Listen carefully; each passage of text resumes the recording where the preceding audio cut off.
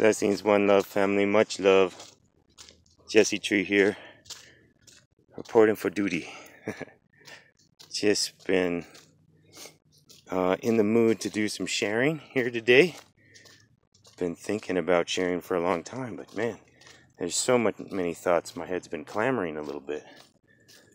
What's been on my mind lately has been just my whole pranic transformation and what's going on with me. It's a very interesting experience. I willfully intended this thing. It's totally manifesting. I spent the last 20 days dry fasting every day till 5 and then just having like juice and broth and tea for about two or three hours a day. And uh, I feel great. I have more energy than ever. I feel like my heart is being restored by this process. But there's this, it's not without pains. I'm going through this whole integration experience where I'm trying to integrate with my family, who are all meat eaters, and you know, I'm the vegan who's gone pranic.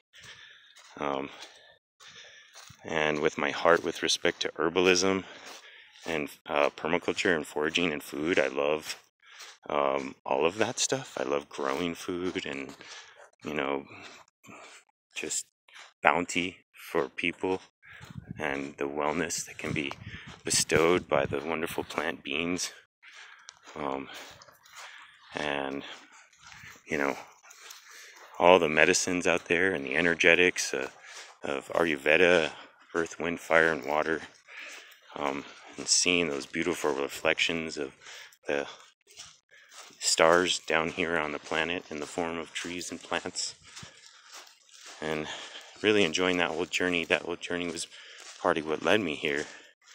Now I'm in a new space where what I think about most is like hanging out with my family, uh, skateboarding and surfing and snowboarding. I I'm thinking about a lot, and even more than that, music. That's how my wife and I met. Was music, and in my study of alchemy and Ayurveda and life, uh, I really resonate with the thought put forth by Sevan Bomar of, you know, what are the 360 degrees of your worldview? Do you have a whole holistic worldview, or do you have have you pigeonholed your thought? And and I see how music connects to sound, connects to that cicada buzzing over there, and the temperature. Uh, right now, the frequency, vibration, how that affects chemistry, how that affects crystalline lattice growth, how that affects our bodies. And this pranic transformation is really fantastic and valuable and wonderful, I think, because it learns to open up, you learn to open up the uh, central channel, the heart channel, and the Kundalini flow in a greater way. And it's really just amazing, you know, um, because you don't have the obstruction of all that food turning around here. I'm taking my dogs on a little walk. I had left my shirt up here. Dope. Yeah, there's not the obstruction of all this food, and that's been part of my conundrum.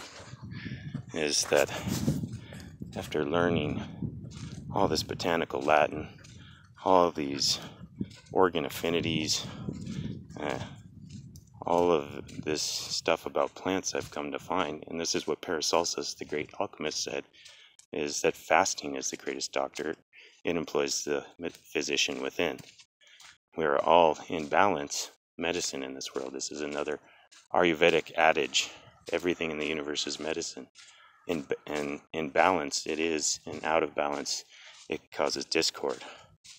So, um, if we can learn to be in balance, and this thing with the pranic thing is not just not eating, it's about learning to balance um, between earth and sky, between earth, wind, fire, and water, between uh, your emotions, your emotional body, your spiritual body, your psychological body, your physical body, between your relationships, your work relationship, your uh, relationship with your own self, relationship with your family, gotta get these things whole in this time to be sovereign, to be strong, to be uh, clear and lucid, and to be free. And that's what I feel like the pranic uh, life offers and is really a gift that belongs to all of us. We're all pranic. You can all live without food for a good while and water even longer, or other way around. Water for a good while, food even longer. But you can go very little time without breath. And you know, the study of all this has opened up the fact that the large intestine is like a tertiary lung. It's actually an organ to digest energy, and that can be sound, um, light, uh, movement, uh, or air. Um, and I'm really beginning to be convinced of this as I've, during these 20 days, I've been, you know, taking, you know, probably less than 800 calories a day and doing landscaping and, you know, running my three boys around and doing everything everybody else does with the stresses and everything. I just take the time to meditate, to sun gaze, to stretch, to focus, to remain in balance. And I've been on this liquid journey for almost two years now. Um, and it just really took a notch up recently. And it's just this thing that is very interesting. I feel more connected with my true self and with my true heart. And I feel like this is something that could be a great healing for the all. And that's something I want to put my energy into. And yet I still have all these heartstrings with uh, earth living, permaculture, herbalism, gardening. It all is part of this life cultivation practice. My dogs are chasing, chasing cars.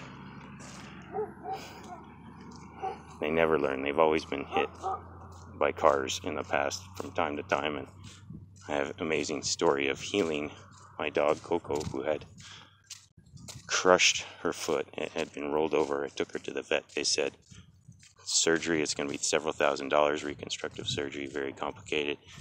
I said no, nah. or amputate. I said no. Nah. I took her home, wrapped her in comfrey, gave her homeopathic symphytum for two weeks.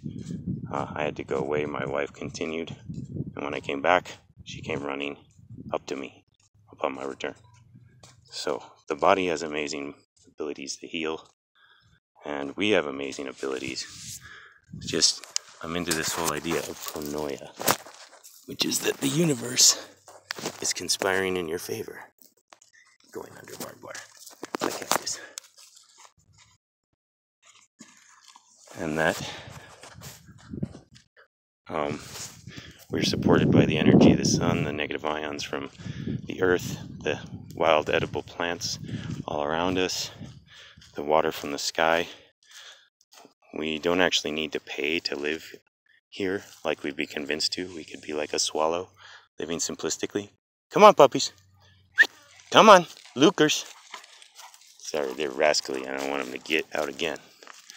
Um, but yeah, pronoia is very real.